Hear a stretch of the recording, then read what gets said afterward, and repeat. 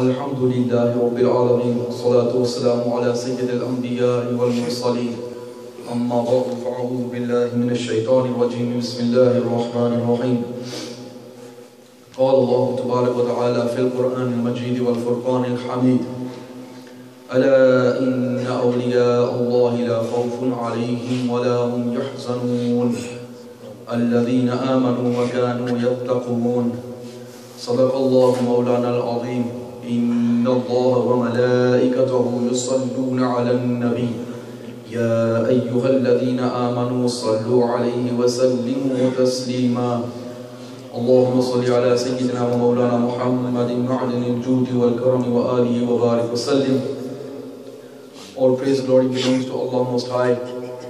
Endless peace and blessings upon the best of creation, our Master and Lead Lord, Sayyidina Muhammad Rasulullah sallallahu alayhi wa sallam. Upon all the Anbiya alayhi the pious companions, the pure wives, and the blessed Ahlul Bayt, the household of Rasulullah sallallahu alayhi wa sallam. Alhamdulillah, we are in the month of Rabi al-Thani, the month of Hazur, Ghaus Azam, Shaykh Shahid Abdal, Hazur Sayyidina Shaykh Abdul Qadir al-Jilani, radiyallahu ta'ala anhu, of whom it is said that he is Sultan al-Awliya, the leader of the friends of Allah. And he, being a Hasni Sayyid and also Husayni Sayyid, is from the blessed lineage of Sayyidina Rasulullah sallallahu alayhi wasallam. And what is common amongst the Ummah is that just as we do Barawi Sharif, the blessed 12th of Rabi al-Awwal in the commemoration of the Messenger of Allah sallallahu wasallam, there is the Gyarvi Sharif, the blessed 11th, in the commemoration of Sayyidina Shaykh Abdul Qadir Jilani anhu. And it is written in the book Yazda Majlis and mentioned by many of the ulama that Hazur Sayyidina Shaykh Abdul Qadir al-Jilani anhu saw in a dream the Messenger of Allah sallallahu alayhi wasallam and the Messenger of Allah wasallam mentioned to him that, Oh Abdul Qadir, you commemorated my 12th, you remembered my 12th, so I give you the 11th. So this adab of having Gyarvi Sharif is adai Rasul. Nabi salatu has given this gift to Sayyidina Shaykh Abdul Qadir al-Jilani and this is why we see everywhere in the Muslim world, all the Muslims, Arab, non-Arab, in India, Pakistan, not only that, in Turkey, the Middle East, everywhere, everyone is remembering Sayyidina Shaykh Abdul Qadir al-Jilani. He has a great following, a wide following, and you will be surprised. And now we are living in a fast age where you can see on the internet and you know through mass media. Previously, people would say that these things only exist in India and Pakistan. Things like milad, things like commemorating awliya, things like going to mazars. But now, with the spreading of mass media, people can see for themselves that people of all race, color, and nationality are celebrating and commemorating the awliya kiram alayhim ridwan. So the Gyarvi Sharif, what does it mean? Before I go to this, just to elaborate on the verse I've quoted where Allah subhanahu wa ta'ala says in the Holy Quran about His awliya, أَلَا إِنَّ أَوْلِيَاءَ اللَّهِ لَا خَوْفٌ عَلَيْهِمْ وَلَا هُمْ يَحْزَنُونَ Indeed, the awliya Allah, the friends of Allah, there is no fear upon them nor do they grieve. الَّذِينَ آمَنُوا وَكَانُوا يَتَّقُونَ They are those who believe and they have piety, they have taqwa. And amongst the awliya, we are doing the dhikr today of Sayyidina Shaykh Abdul Qadir al-Jilani radiallahu So the Gyarvi Sharif, the blessed 11th. Why is the blessed 11th commemorated? Because on the 11th of this month, Rabi al-Thani marked the day of passing away of Sayyidina Shaykh Abdul Qadir al-Jilani radiallahu The 11th of Rabi al-Thani, Rabi al-Akhir. Hazur alayhi salatu uh, wasalam, his mawlid was on the 12th of Rabi al-Awwal and his passing also on 12th of Rabi al-Awwal and that of Sayyidina Ghaus Azam was on the 11th of Rabi al-Thani. And it is also mentioned that Sayyidina Shaykh Abdul Qadir al-Jilani anhu would also hold gatherings on the 11th of every month himself. He, uh, Hazur Azam would also hold gatherings on the 11th of every month. So the Gyarvi Sharif has been mentioned and documented by many ulama as well. A book has been written by Ibn Mullah Jivan. Mullah Jivan Rahmatullah was a great scholar. And he was from the awlad of Sayyidina Abu Bakr Siddiq anhu, and he was the ustad of Aurangzeb Alamgir, the Mughal Badshah Aurangzeb Alamgir Rahmatullah And his son, the son of Mullah Jivan Rahmatullah wrote a whole book, Wajiz Sirat. He wrote this book on the blessings of Gyarvi Sharif and on the proofs of commemorating and the blessings of commemorating Gyarvi Sharif. So what is the 11th Gyarni Sharif? Again, Shaykh Muhakkik, Shaykh Abdul Haq Muhaddis al-Delhi rahmatullahi mentions in Ma Sabata bin Sunnah that the day of the 11th is commemorated by many mashayikh in India. Why? He says most of the mashayikh who commemorate this are those who belong to the Qadriya order. Those who belong to the Qadri Sufi order who trace their spiritual lineage back to Sayyidina Shaykh Abdul Qadir al-Jilani anhu. So what is Gyarvi Sharif? What does it consist of? Why is it done?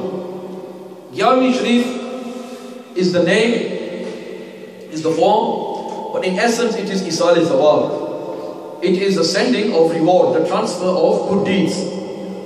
And in this regard, there are many verses in Quran al-Kareem which attest to the validity of sending good deeds. Allah subhanahu wa ta'ala mentions in the Holy Quran وَقُلْ رَبِّ ارْحَمْهُمَا كَمَا رَبَّيَانِ صَغِيرًا And say, My Lord, forgive these two. Who? Forgive my parents. Show mercy to my parents the way they showed mercy to me when I was small. Show mercy to my parents, O Lord, the way they showed mercy to me when I was small. When I was a young one. Again, Allah subhanahu wa ta'ala mentions in Surah Hashr, in the 10th verse, it is mentioned a dua ربنا اغفر لنا ولإخواننا الذين سبقونا بالإيمان that our Lord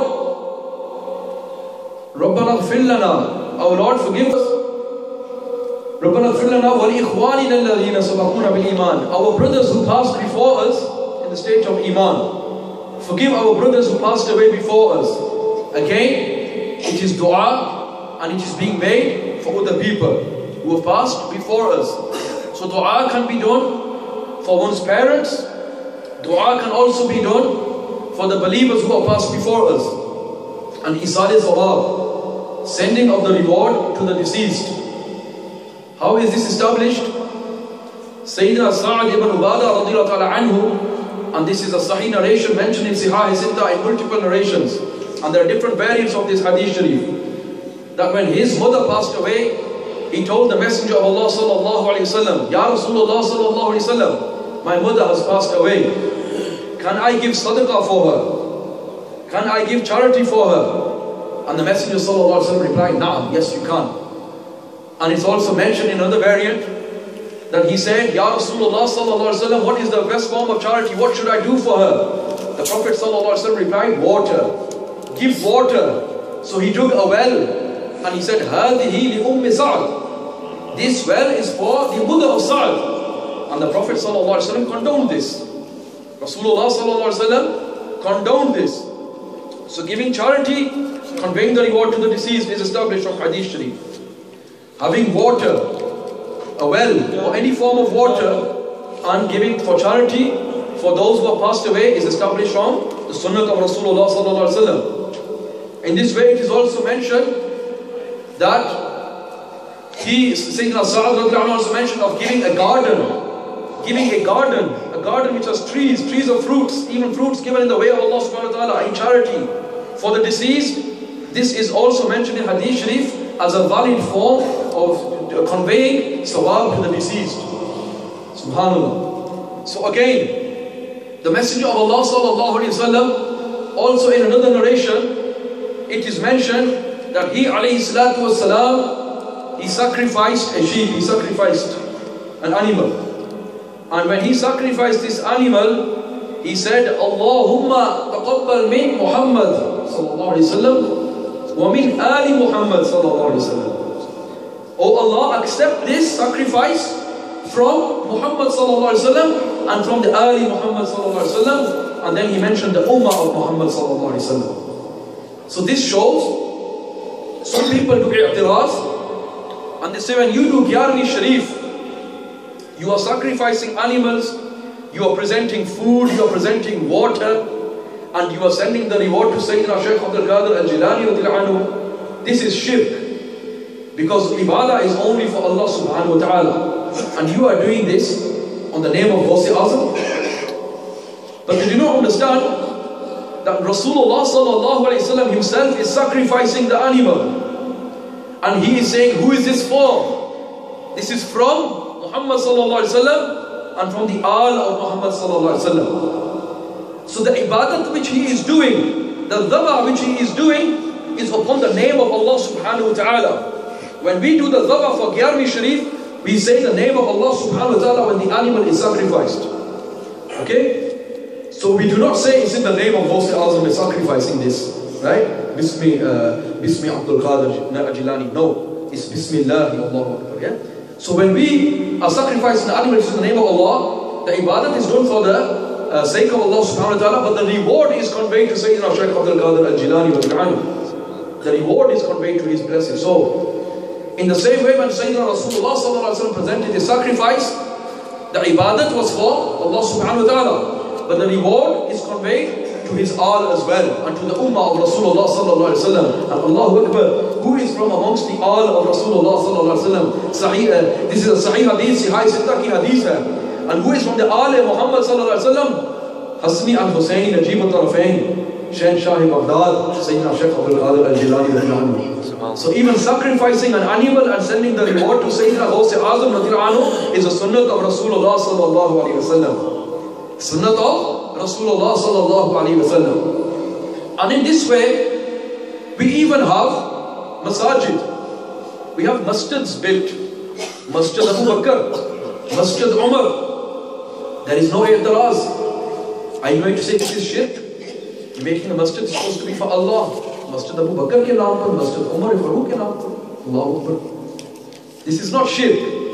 Because the masjid is for Allah subhanahu wa ta'ala. But the reward, the Isali Sawab is going to the soul of Sayyidina Siddiq Akbar anhu. The reward is going to the soul of Sayyidina Farooq Azam anhu. But the ibadat is for Allah subhanahu wa ta'ala. So again, these are only the words, but the essence, the asal is Isali Sawab. Again, we all read Bukhari and Muslim. We all read books of hadith. When we read these books of hadith, why do we not say that these are just books of Allah? Why put the name of Bukhari on it? Why put the name of Muslim on it? Again, when we read the Hadith Sharif, we gain the ajr and the reward from Allah subhanahu wa ta'ala. The ibadat is for, reading of Hadith Sharif is for Allah subhanahu wa ta'ala. But the reward, the continuous sadaqah jariyah and the continuous reward is going to who? Sayyidina Imam Bukhari rahmatullahi. There is no shirk in this. And again, when we do Gyarvi Sharif, we do ibadat we come together and we recite Quran Kareem. Then we recite Naat Madha in the praise of Nabi alayhi salatu wasalam. Then what is what happens then? Bayanat happen. Hadith Sharif is narrated. Quran Kareem, Hadith Sharif is bayan. After this, food is given to people. Food is given to people. Water is given to people. Meat is given to people. Right? After this, dua is made and the reward is conveyed to the deceased the reward is conveyed to those who were before us. All these actions have been established from the sunnah of the Messenger of Allah sallallahu alayhi. Namely, digging a well, presenting water, giving the reward to the deceased. Hadhihi Umm Sa'ad, Nabi Islam told his Sahabi to do this. The presenting of a garden, a whole garden of fruit trees for the reward of the deceased. This again is from the sunnah of the Messenger sallallahu alayhi wasallam. Sacrificing a animal and presenting the reward to others. Who did this? Who did this? Rasulullah. Rasulullah sallallahu alaihi wasallam did this. Go look in Sihah Sitta, the Hadith Sharifs are there. He sallallahu alaihi wasallam sacrificed the animal and presented the reward to his all. And who is from his all? Sayyidi Ghaus Pak radiallahu ta'ala anhu. And so the practice of Gyarvi Sharif has been established in the Ummah on the basis of Isal Sawab.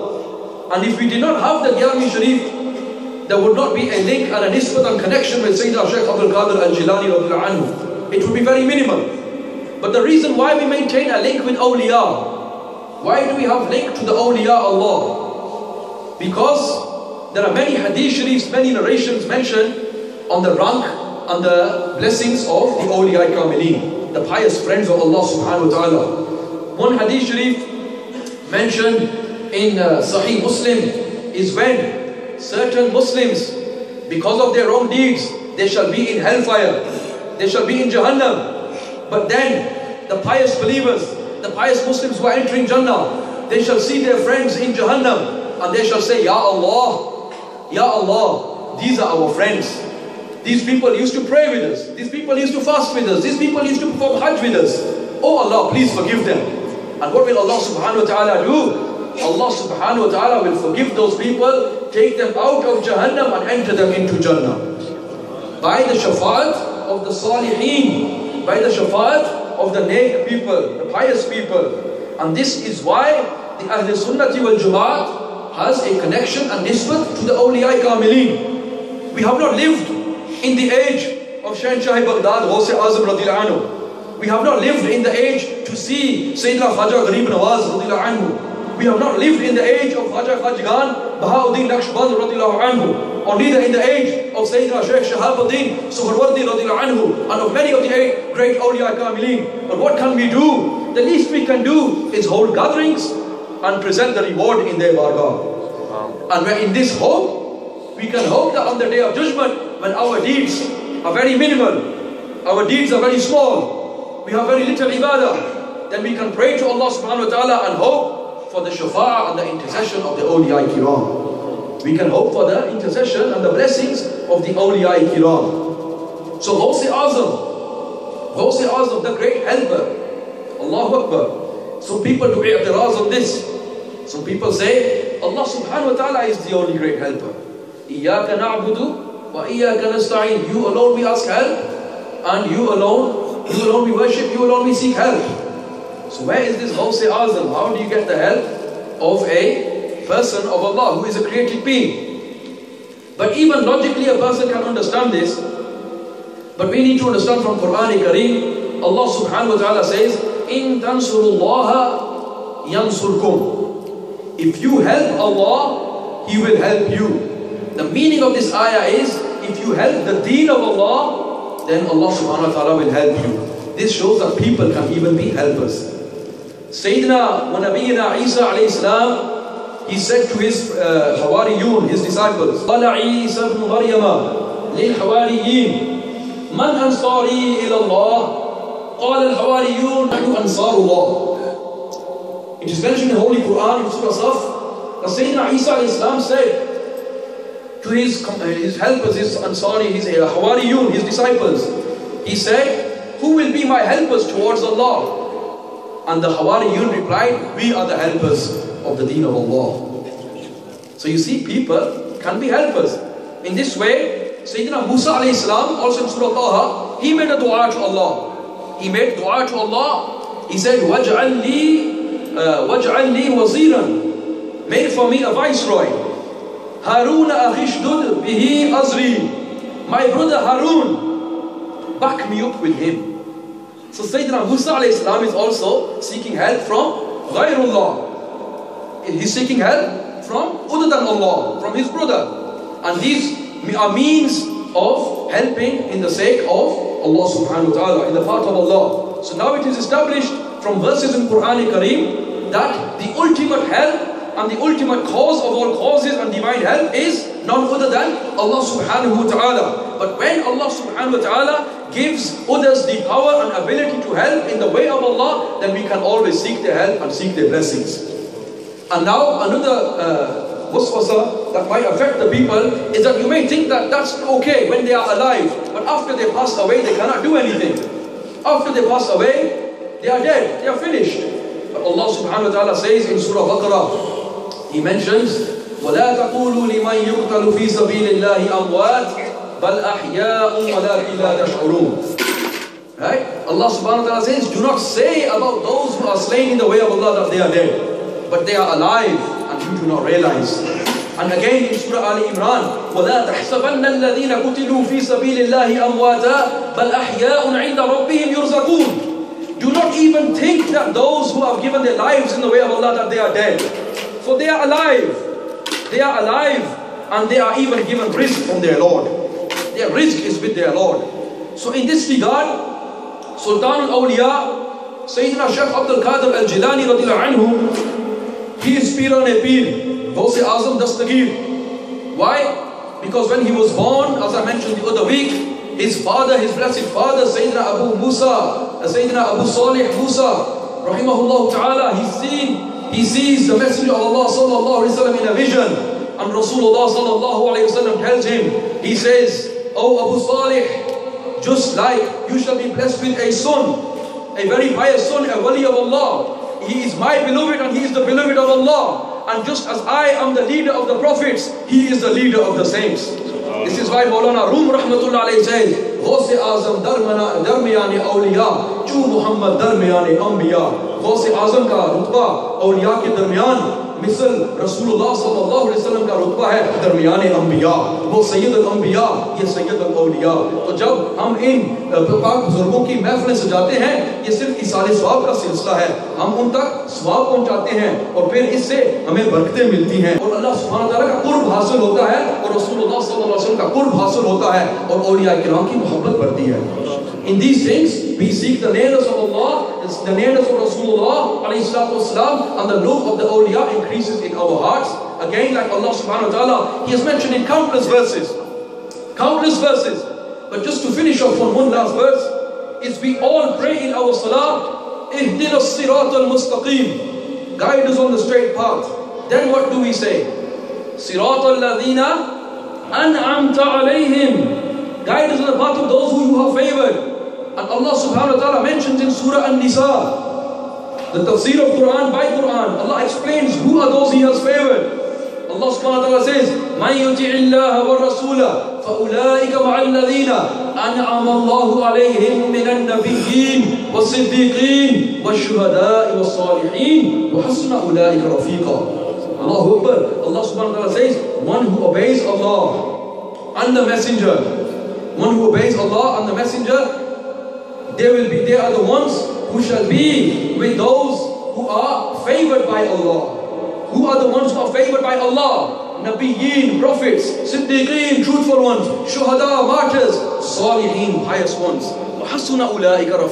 And what a beautiful companionship this is. What a great, what a good companionship this is. And this is why we keep the nisbat and the connection of the awliya kamilin and in this regard, inshallah ta'ala, in this masjid tomorrow, we will be having, and tomorrow happens to be, alhamdulillah, the night of the 11th of Gyarvi Sharif. We will have a blessed gathering in the remembrance of Sayyidina Shaykh Abdul Qadir al-Jilani. There will be Quran Kareem recitation, there will be Naat Sharif, Manqabat, poetry and Bayan of Quran and Hadith and there will also be food distributed and inshallah ta'ala I give open invitation to all of you and those of you who want to contribute towards Langar Sharif, Langar Gausiya, please do contribute wholeheartedly. So may Allah subhanahu wa ta'ala give us all the tawfiq to partake in these blessed gatherings and forgive me for any of my shortcomings. وَمَا عَلَيْنَا إِلَّا الْبَلَاغُ الْمُبِينَ